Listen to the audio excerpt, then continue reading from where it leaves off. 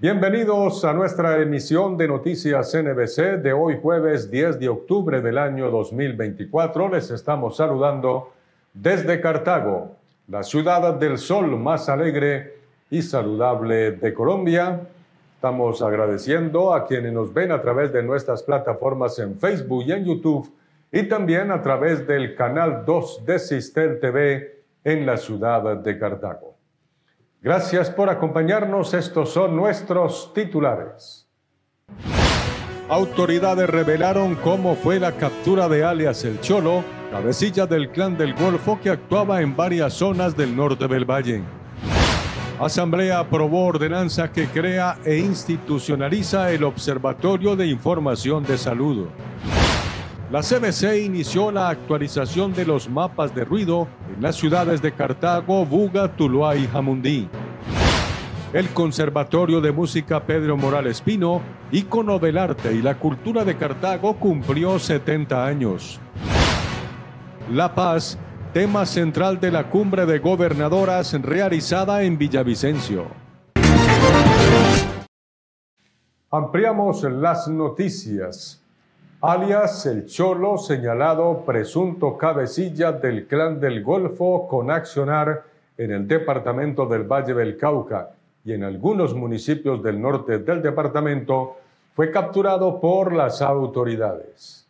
Una operación conjunta entre la Policía Nacional, la Armada y la Fiscalía permitió la captura en el municipio de Buenaventura de Alexander Pretel Valencia, alias El Cholo, señalado de ser uno de los cabecillas del clan del Golfo dedicado a la parte financiera del grupo ilegal y a expandir su accionar en la región del norte del valle alias El Cholo, identificado como uno de los principales presuntos responsables financieros de la subestructura Valle del Clan del Golfo, fue detenido por orden judicial por el delito de concierto para delinquir agravado. Su rol clave incluiría la gestión de pagos a los miembros de la organización, la incorporación de nuevos integrantes y el manejo de los recursos provenientes del narcotráfico, minería ilegal y extorsiones en la región. Se capturó el cabecilla de las finanzas del clan del Golfo que viene dando golpes en el norte del Valle del Cauca.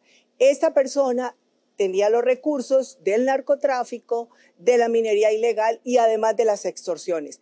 Esta es una muy buena captura porque va a lograr desestabilizar y disminuir todo ese potencial que viene, que viene generando con homicidios y extorsiones en el norte del valle, el clan del Golfo. Todo esto por la articulación, el trabajo unido y además con la colaboración de la comunidad en la información. Por eso seguimos diciéndole a la comunidad infórmenos, denos información para poder lograr efectuar toda esta serie de capturas que hacen posible la seguridad del valle.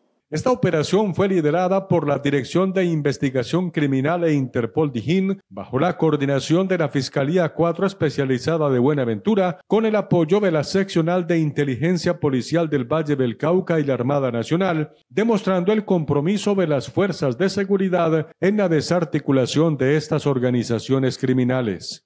Esta persona hacía parte de la subestructura del Valle, específicamente era el dinamizador financiero de la estructura del Clan del Golfo. Esta persona era de mucha confianza de alias Dimax, el cual, una vez capturado por la Policía Nacional, alias Mateo, que era anterior eh, cabecilla financiero, esta persona fue dispuesta para que pudiera organizar, administrar los recursos criminales económicos dados por las extorsiones en la región, el microtráfico y, por supuesto, la minería legal. Esta persona fue capturada en el municipio de Buenaventura, donde tenía su base estructuralmente. Con la captura de alias El Cholo, se logra debilitar una de las principales estructuras financieras del clan del Golfo en el departamento del Valle del Cauca, garantizando la tranquilidad de la comunidad. La Asamblea Departamental aprobó en segundo debate la creación e institucionalización del Observatorio de Información en Salud. Como una decisión estratégica que responde a mandatos normativos, necesidades técnicas y sobre todo al compromiso de garantizar el derecho a la salud y mejorar la calidad de vida de la población generando valor público, fue calificado el Observatorio de Información en Salud del Valle del Cauca, creado mediante ordenanza. El proyecto 037, que fue aprobado en segundo debate en sesión plenaria por la Asamblea Departamental, con algunas modificaciones, crea e institucionaliza el Observatorio de Información de Salud con ponencia de la diputada Lina María Segura Moyano.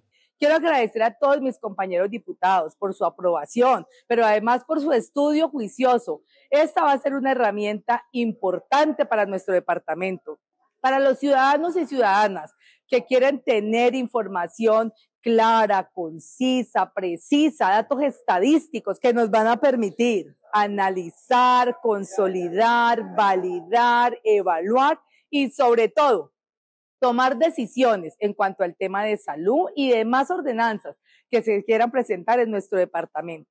El Observatorio de Información de Salud se considera un instrumento para la sistematización, consolidación, procesamiento y análisis de los datos, que proporcionará información confiable y apoyo en la planificación estratégica para la toma de decisiones, contribuyendo a la prevención, control, seguimiento y evaluación de los procesos, aportando al mejoramiento continuo de la salud de la población del Valle del Cauca.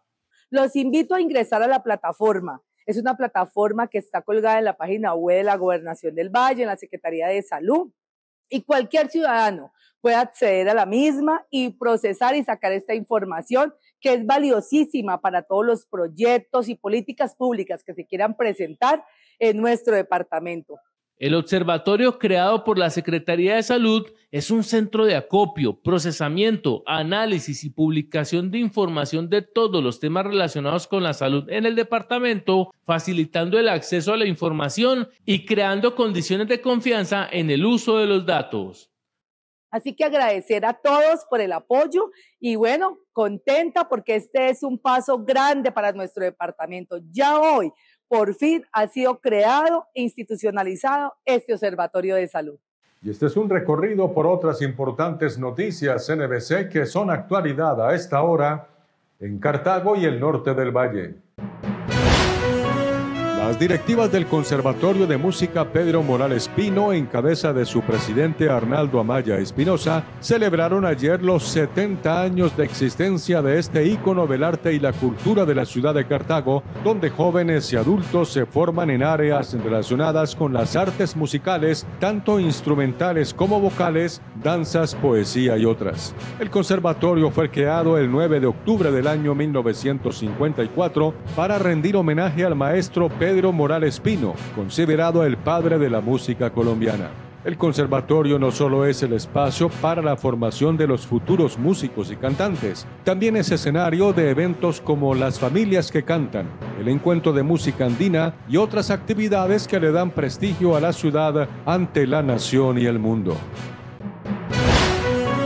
Fue bien acogido el proyecto de ordenanza 041 presentado por el diputado Juan Carlos Rengifo Arboleda, que será estudiado por la corporación mediante el cual se promueve el uso de la bicicleta en el Valle del Cauca y se dictan otras disposiciones. El proyecto, que nace a raíz de la realización de la COP16, busca establecer compromisos y acciones para poder disminuir las emisiones de carbono como que todas las obras del departamento y los municipios estén obligadas a contemplar en sus estudios y diseños el uso de la bicicleta como lo establece el Plan Nacional de Desarrollo, que se identifiquen y habiliten los parqueaderos en todas las instituciones educativas, universidades y empresas, que se apliquen estímulos como el medio día de descanso laboral por cierto número de llegadas al trabajo en bicicleta como lo ordena la ley y que se activen componentes de seguridad que les den tranquilidad y bienestar a los ciclistas. Del 16 al 18 de octubre, Cali y el Valle del Cauca serán escenario del octavo Congreso Iberoamericano de Educación Ambiental, organizado por el Ministerio del Ambiente y Desarrollo Sostenible y la Gobernación del Valle. En el evento que se enmarca dentro de las actividades previas a la COP16, se abordarán temas trascendentales en materia de sostenibilidad como los desafíos ambientales que interpelan a la educación ambiental, relaciones en materia de educación ambiental y ciudadanía y decidir diferentes modelos de concebir el mundo social para hacer que nosotros como ciudadanos hagamos la paz con la naturaleza. En el evento que se desarrollará en la Universidad Santiago de Cali, el Coliseo Evangelista Mora, habrá más de 50 ponencias y más de 100 cursos y talleres paralelos. Continuamos a esta hora con más noticias NBC. La CBC socializó esta semana en la ciudad de Cartago un proyecto mediante el cual se hace la actualización de los mapas de ruido en cuatro ciudades del departamento, Cartago, Buga, Tuluá y Jamundí. Identificar los niveles de ruido ambiental y generar soluciones dirigidas a la descontaminación sonora de los municipios de Cartago, Buga, Tuluá y Jamundí es el objetivo del proyecto de actualización de los mapas de ruido en estas cuatro ciudades del departamento que viene adelantando la CBC. Para el caso de Cartago, el proyecto fue socializado este miércoles con la presencia de las entidades municipales comprometidas con el medio ambiente, empresarios y grupos de ambientalistas. Eh, según la normativa de ruido nacional, eh, las corporaciones autónomas debemos de eh, diagnosticar acústicamente cada cuatro años, como tal, hacer ejercicios de cartografía social, ejercicios de monitoreos para pues, hacer como tal el diagnóstico acústico de los municipios en el cual, pues digamos, en este plan de acción durante estas dos vigencias se priorizaron los mapas de ruido de Buga, Tuluá, Cartago y Jamundí, que son los municipios que cuentan con una población eh, superior a 100.000 habitantes y como tal, pues son los mapas que están ya próximos a, actualizar, ya que pues los, los anteriores fueron desarrollados y entregados en el año 2018. Las actividades comprenden la medición de los decibeles que se producen en determinadas zonas de la ciudad, tanto en horario diurno como nocturno, durante todos los días de la semana para velar porque estos se ajusten a las normas nacionales como son inventarios de fuentes fijas, unas mediciones de ruido ambiental, eh, mediciones de emisión de ruido, caracterización de fuentes fijas a través de ejercicios de aforos vehiculares, eh, todo esto como tal para insumar al modelo de ruido con lo cual pues digamos se generan unos mapas con unas coloraciones las cuales indican como tal las afectaciones en el, en, el área urbana como tal del municipio de Cartago en este caso, con lo cual podemos determinar cuáles son las zonas más afectadas por ruido en el municipio y asimismo vamos a, a, actualizar y a hacer la revisión pertinente de los planes, las fichas de los planes de descontaminación acústica, una serie de proyectos que están vinculados eh, para con la comunidad, digamos, hacer la revisión y hacerlo lo más eh, enfocado a la necesidad y a la problemática que se tiene en el municipio. Con los resultados de la actualización, el municipio y la entidad ambiental podrán iniciar un plan de descontaminación acústica para garantizar un mejor estar de la comunidad. Estos son muy útiles como tal para los actores de gestión municipales como son Secretaría de Gobiernos, Secretaría de Salud, educación, con lo cual puedan converger en un espacio como un comité y asimismo darle seguimiento a las diferentes problemáticas identificadas en el territorio personal propietario de bares, de restaurantes, eh, todo el sector de la administración municipal, la secretaría, que incluye la Secretaría de Gobierno, de Salud y la Subsecretaría de Medio Ambiente. También se solicitó la presencia de la policía. Sí, la idea es que con ese insumo podamos tener una planificación acertada de la ciudad en cuanto al ruido. A continuación presentamos nuestra sección La gobernadora en el norte.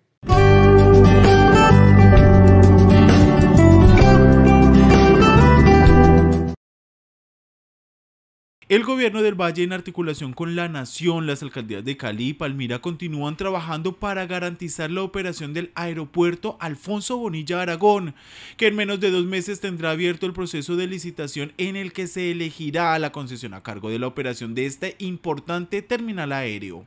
En los próximos días se va a cerrar, se cierran los pliegos, se cierran las condiciones financieras y ahí inician las aprobaciones de diferentes autoridades con el fin de publicar este proyecto finalizando el mes de noviembre del año 2024. Si no hay más interesados, a finales de mayo se estaría adjudicando y si hay nuevos interesados, que es también el deseo que se quiere en toda la región se pueda tener a finales de agosto. El gobierno del Valle también ha insistido en la necesidad que la nación destine nuevos recursos para el aeropuerto Gerardo Tobar de Buenaventura. En esa adjudicación está el aeropuerto de Buenaventura con 200 mil millones de pesos. Nosotros estamos solicitando es que no queden los mismos 200 mil millones, sino que se actualicen de acuerdo al IPC. Se estima que a mediados de 2025 el aeropuerto Alfonso Bonilla Aragón tendrá un nuevo operador.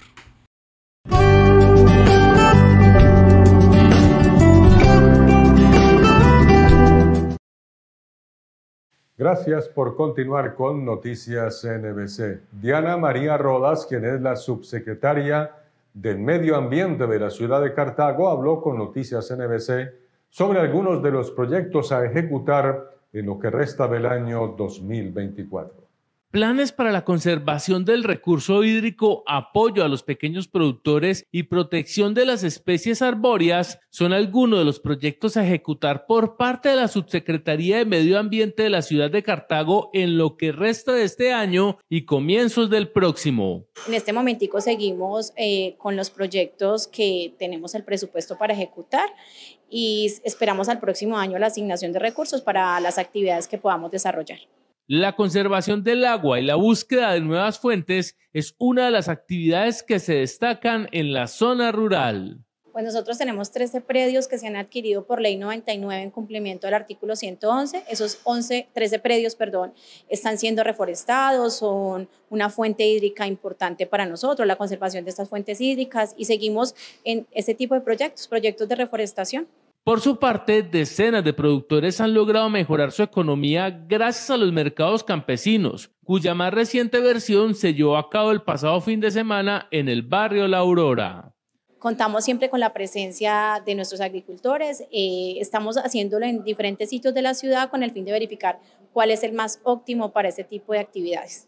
Todas estas actividades están enmarcadas dentro del programa de gobierno de Juan David Piedradita, Más Progreso, Mejor Futuro. Nuestro alcalde, señor Juan David Pedraíta, es una persona que con mucho entusiasmo hace estas convocatorias y la verdad hemos sido atendidas muy bien por la comunidad rural.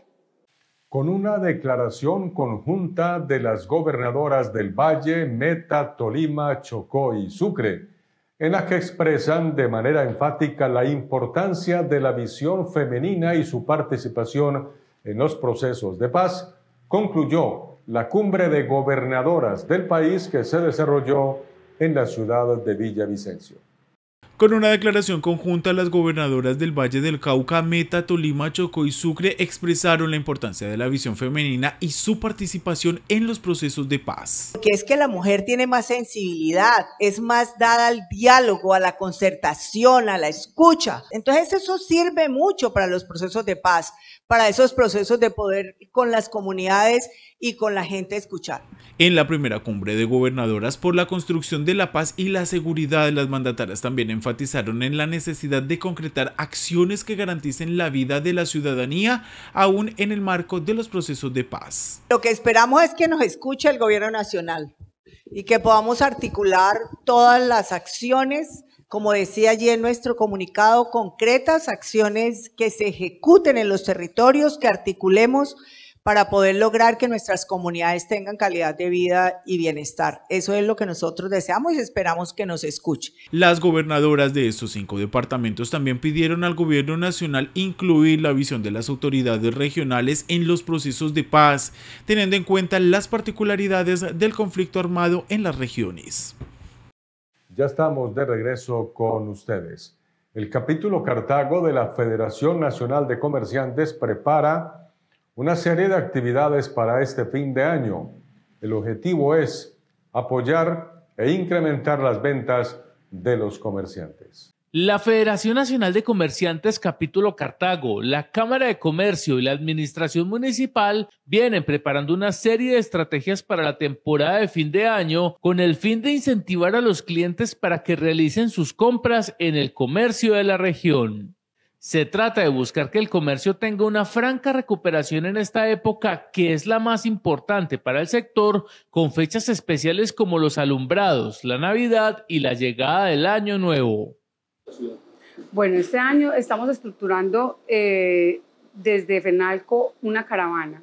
Esa caravana está, eh, apenas se está organizando. La idea es que se vinculen los comerciantes, que se vinculen todas las entidades públicas para que hagamos algo que, impacte de verdad a la región del norte del Valle del Eje Cafetero. Entonces, eh, esperando ya concretar eh, con Cámara de Comercio, con la Alcaldía que hemos venido realizando como este tipo de actividades, eh, tengo entendido, de acuerdo a lo que hablaba con la Alcaldía, que el señor alcalde pues también espera hacer una Navidad muy, muy bonita para los cartagüeños y, y, los, y nuestros vecinos colindantes como para que vengan y, disfruten y pues activemos de desde ese modo el comercio. Hay varias propuestas que se traen, pero se están estructurando hasta ahora para organizar algo que de verdad genere un impacto y un beneficio al comerciante. Dentro de las actividades se planea una nueva versión de Cartago Despierta a la que se sumará un alto porcentaje del comercio local. Con estas actividades se pretende apoyar a los comerciantes de la región para que incremente sus ventas y se reactive este sector de la economía. Pues por lo menos desde FENALCO estamos apuntando a que sea algo desde la región del norte, que podamos vincular esos municipios que, que, se vean tentados a venir y que el comercio vea, o sea, les dirija como esas ofertas y ese tipo de atractivo también a, esa región del norte para que nos visiten y puedan, pueda la economía de Cartago tener buen, buen fin en, en, en este diciembre.